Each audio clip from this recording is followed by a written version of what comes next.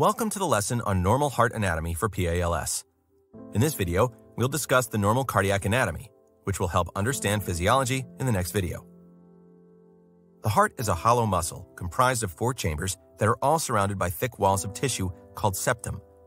The two upper chambers are the atria, and the two lower chambers are the ventricles. The right and the left halves of the heart work together to pump blood throughout the body.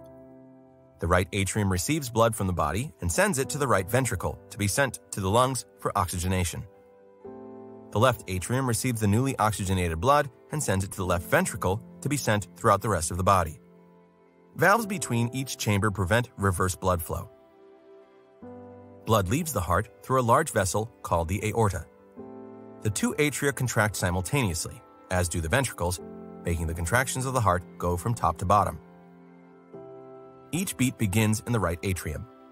The left ventricle is the largest and has the thickest wall, as it is responsible for pumping the newly oxygenated blood to the rest of the body.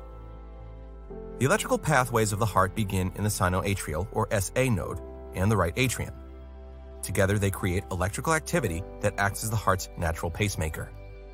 This electrical impulse then travels to the atrioventricular or AV node, which lies between the atria and the ventricles. After pausing briefly, the electrical impulse moves to the His-Purkinje system, which acts as wiring to conduct the electrical signal into the left and the right ventricles. This electrical signal causes the heart muscle to contract and pump blood. This concludes the normal heart anatomy for PALS. Next, we'll review the normal heart physiology for PALS.